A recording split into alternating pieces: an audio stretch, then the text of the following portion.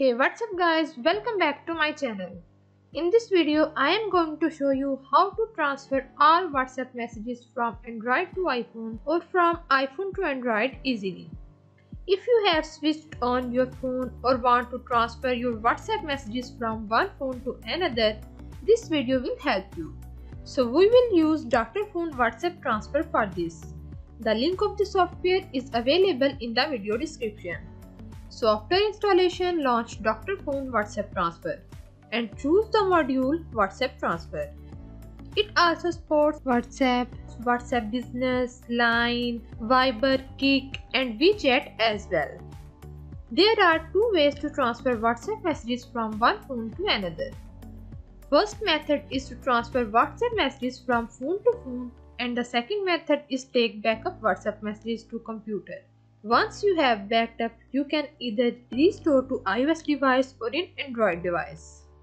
So let's start with the first method. Select transfer WhatsApp messages. Connect both of your phones to the PC.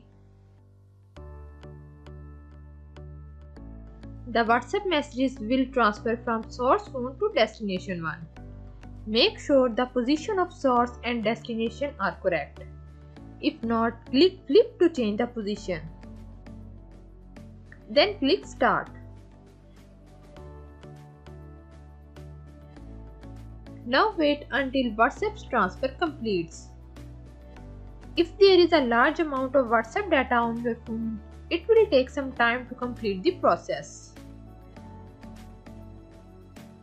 Ensure the cables are connected during WhatsApp transfer.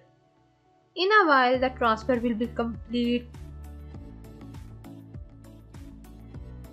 Now the process has completed successfully. Second method is to take backup WhatsApp from phone to PC and then restore. Select backup WhatsApp messages.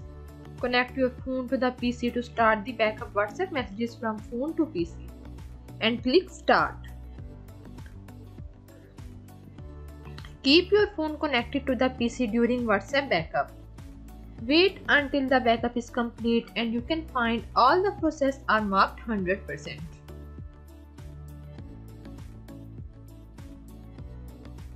By clicking view it, you can find that your WhatsApp backup record exists on your PC.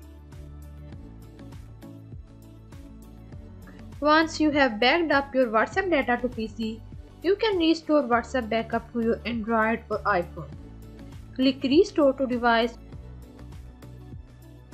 Connect your phone to the PC, then select the WhatsApp backup files and click Start.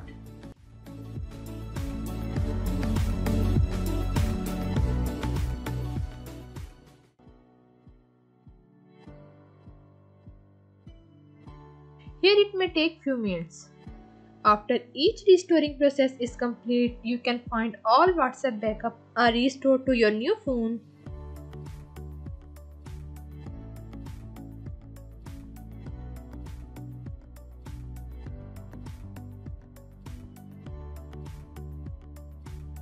So that's all for now. If you guys enjoyed my video, hit the like button, comment on below if you have any question and I'll see you in the next one. Subscribe to our channel for more amazing tech videos and share it with your friends. Thanks for watching.